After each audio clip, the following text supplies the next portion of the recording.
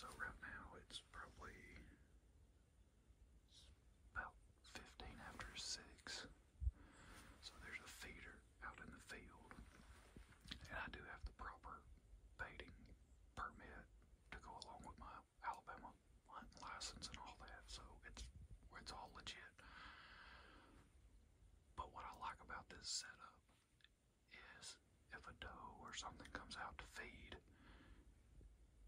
keeps them occupied. I can make sure I get a good shot off. And what's really nice is this is a perfect place to test, you know, bullets in the field, right? Like that's one of the things I really enjoy about coming over here.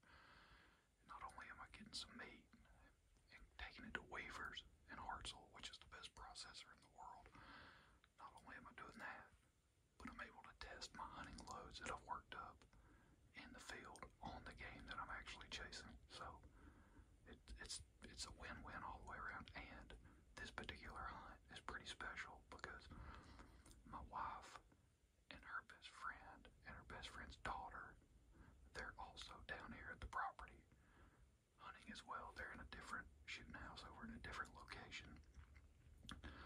But the daughter turned 15 today, and so her mom wanted to take her hunting as a birthday gift. I thought that was really cool. So we set it up. We were able to get all the appropriate licenses and everything squared away. And so we're here. My dad is taking them and getting them set up.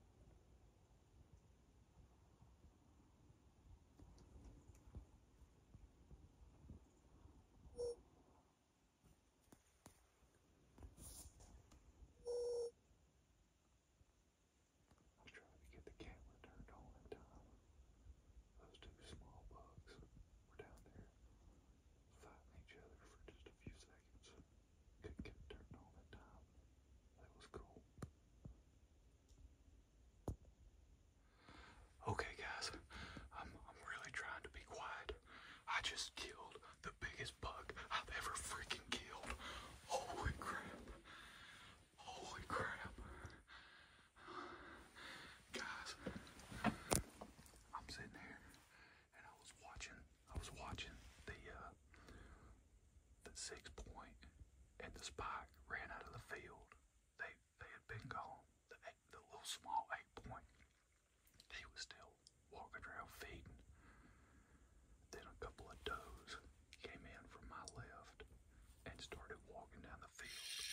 Well, then they looked back to the left, and I mean, a show enough couldn't come walking into the field, and I was like, I mean, it's literally just through those trees. Feeder's going on now. And, and I grabbed my binoculars. I was like, what am I doing? That's the biggest buck I've ever freaking been able to shoot. What am I doing? So I, you know, put them down, grabbed my gun, set it up, and I took the shot. He was he was kind of directly to the left of the feeder when I took the shot. I'm hunting with my 270, the, the Speer Grand Slam loads that I worked up in my 270. Holy smokes. Oh, alright, I'm gonna wait since the feeder just went off. I'd like to kill a doe also, so I'm gonna sit tight and see if I can get a big doe to come out. Alright, y'all stay tuned. Alright, guys. Holy cow. What a day. What a day. Alright, so we're gonna go take a look at that buck. But look what else we got going on, fellas. Yes, sir. Blood trail right over there. You see the white belly right there in the center of the screen. That's a, a doe that came into the field. It's uh, let's see what time is it? 8:25. So shot that doe a couple of minutes ago. She piled up. What'd she go? 20 yards into the woods. She piled up. Let's get over here. Let's take a look at this buck. I did come down just to check to try to find blood, and I just kind of peeked right here around to the left. Now he was standing right here, basically to the left of the feeder, facing the feeders. There was another buck standing back behind him over here to the left. It was a small, I believe it was that small eight point. And so he was facing the feeders and he kind of turned his head just slightly back to the left looking at him and that's when I shot. So he was like right here. Holy smokes. Holy smokes. Holy oh, crap. Oh. Oh, Nelly. Oh, Nelly. Wow. Holy cow. He piled up. Where'd he go? 10 feet, maybe. Holy cow. Oh. Good night. Look at that dude. Holy smokes. It's like a tank. I find somewhere to put my gun in. Oh. Up against a tree. Holy cow. Oh. Oh, man. Awesome. Look at here. Oh my goodness. Good night. The body on this joker. It's like a freaking horse. Holy cow. Holy smokes. Oh, look at here. oh man. Good night. Oh, thank you, Lord. That's my biggest to date right there. Holy smokes. And so there's the entry. Uh, there's the entry hole. Hang on. Let's see here. Let's see if we can flip him over. Oh, we didn't get a pass through. Nice. Sweet. So that way, oh, maybe I'll be able to uh, recover the bullet. I, I got to cut him open and see if I can find it. That's the Speer 130 grain Grand Slam. That load that I worked up recently with, uh, oh, excuse me, oh, what was that? Maybe IMR 4350 where I was talking about, I think I was jumping like four tenths. And then I shot, I think it was like 55 grain load. And I think that's the recommended, that's the max in the manual. And that shot the best out of the ones I tested, but I mean, I was only shooting three shot groups and I was like, I could probably load any of these and it'd work just fine. That's the load that freaking dropped the hammer on this dude. Oh, oh man, I'm still shaking. All right, well, that's it. We're going to kind of, well, that's not it. I'll, I'll probably video me dropping him off at Weaver's um, which is the best processor.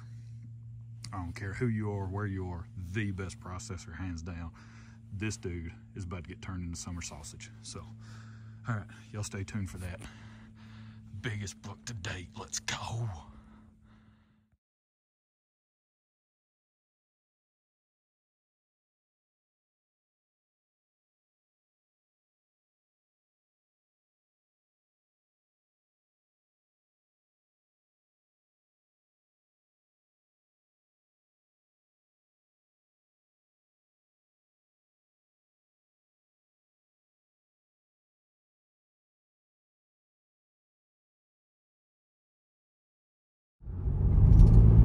Right, guys, gals, any gal that tunes in. Uh, just dropped off my wife, her friend, and uh, her friend's daughter. I just dropped them off, dropped them back off the house. Uh, they've got somewhere they got to go, so had to drop them off. Now I'm backtracking over to uh, Weaver's to go drop off the deer. And one thing I want to touch on, okay, it's just it's been it's it's been pretty cool uh, because I've had to drive quite a bit with these deer attached to the back of my vehicle, sitting on the luggage rack. I bought one of those, which by the way, the the ones, the little cargo racks that you can buy from Harbor Freight, highly recommend it. It folds up if you're not using it. So you can just leave it attached and folded up and it's, you know, for the most part out of the way. And then when you need it, you just fold it down. It's perfect. It's great, um, especially for the money. You can't, can't beat it. And so, but I've had to drive quite a bit with these deer on the back of the vehicle. And there have been several people that have driven by or that have passed me and I'll look over and they're giving me the thumbs up. And I, I think that's cool, right? Because when you, I don't know, maybe it's a social media thing, but when you go and you post pictures of the deer that you kill, like on the Alabama Deer Hunters page or whatever, somebody will post a buck and it it might be a, a small six point, right? They're like, man, I got it done. He's not the biggest, but he's a trophy to me. Who cares? Who cares? Like, what difference does it make? And and I think the problem comes in people try to justify why they shot what they shot, you know, and all that because it of just that, right? When people post that type of stuff, other people will then go on and be like, well, should have given another year, right? Whatever, whatever that means. Um, it just that type of stuff, that negativity feeds into someone who, instead of being just completely thrilled about, you know, making a good shot on an animal and harvesting the animal, instead of focusing on that and celebrating that and how awesome it is, you know, they're trying to justify why they killed what they killed. Like, you will never see me trying to justify what I kill. I like to eat deer meat, period. And you can't eat the antlers. So I really don't care. Like a doe walks out, I'm gonna shoot it. If a spike walks out, I'm gonna shoot it. Not where I was at today, because my dad and my uncle try to manage that property a little bit more strictly, right? So for me, it's when I go over there, it's always, hey, I'd rather I'm gonna shoot a doe, and then as far as me shooting a buck over there, it's gonna have to be something bigger than I've ever shot before for me to shoot a buck over there, which is fine. I have no problem with that. I would I would almost rather go over there and just shoot a doe. Like I like to go over there. Like I said in my video, I like to test my bullets, test my hunting loads in in, in real world situations, which I think is awesome. Love that aspect of it. And so, hey, if I make a shot on an animal and I kill it like today, if I would have just killed that doe, you better believe that picture is getting posted on Alabama Deer Hunters. Like, look how awesome this is. I laid the smack down on a doe. And if it had been a spike, look how awesome this is. I laid the smack down on a spike. I couldn't care less of someone else's opinion about what I shoot or why I shoot what I shoot. Shoot deer to eat them, period. End of story. That's it. So that's me. That's my personal thing. Everybody's got their own thing, but like, it just, I thought it was really cool. The amount of people I look over, man, they're, they're, they're thumbs up, right? They're fist pumping. They're, they're going, you know, yeah, you, that's awesome. You know, that's, that's pretty cool. Um, and then the second thing is, check this out. I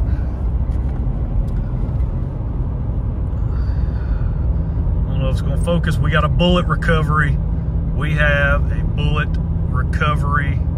Holy smokes. I got to get home and get the, the meat and everything out of the bullet. But man, I was so pumped to find that. I found that in the buck. Ended up having to pass through on the doe. Uh, so no potential for bullet recovery there, but that bullet was in the underside. It was just, it was basically against the hide of the opposing shoulder of the buck. He was, he was pretty much broadside, maybe just ever so slightly quartering away. And where I shot, I'm assuming I hit a rib or something, one of the very front ribs up, you know, more toward uh, lungs and all that stuff, up toward the very front of the rib cage. I hit a rib because the shot where I, where the bullet had, was lodged, it, you know, under the hide, it was not directly across from the entry hole. So I'm, I must have hit a rib, and which there was some, you know, pretty pretty good devastation there on the ribs. Uh, so I must have hit a rib, and it, it had had to have deflected sort of slightly forward because uh, I found it more forward than where the shot angle would have put bullet had it just passed through, right? So, uh, which is fine. I, I, don't care. I was just happy to find the bullet. And it was lodged under, you know, on the opposing shoulder, just under the hide, so I was able to cut it out. And so I'm really pumped about that. But I'm on the road to Weavers on Highway 36 now. Got to get out there, drop these deer off, and head back to the house. So, uh, trying to think. This is probably where we're going to wrap it up. There's really nothing else to uh, to see here. I might film. Nah, I don't even know if I'm gonna film Weavers.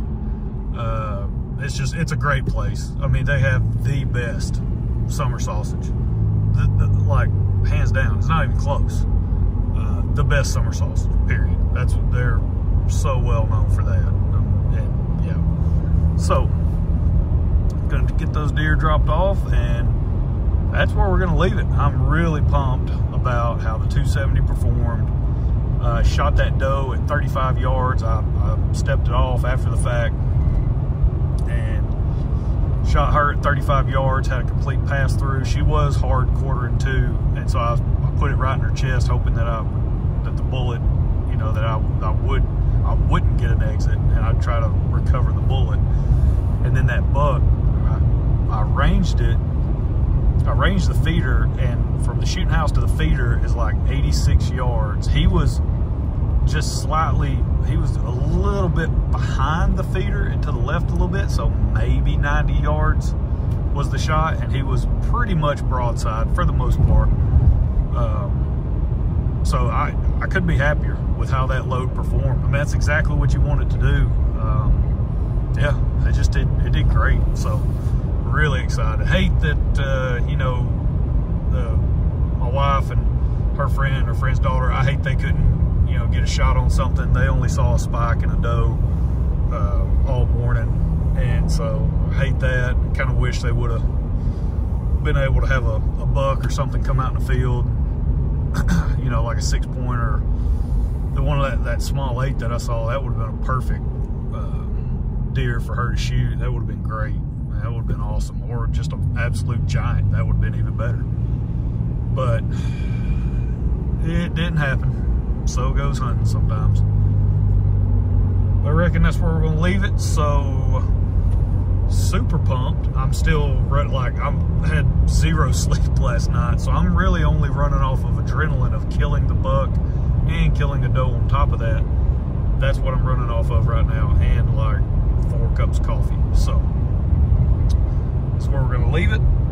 Hope you guys enjoyed it. I know there was no action footage as far as you know seeing me shoot the buck, but uh, I don't have my little scope adapter I think my buddy still has it. I think I gave it to him. I can't remember if I got it back, but I didn't take it on this trip. And if I would have taken it, I would have given it to them to use to try to film just in case she would have been able to kill her first deer. I, that would have been cool to get on film. So I wouldn't have had it anyway. Um, but just in general, man, what a day. What a hunt.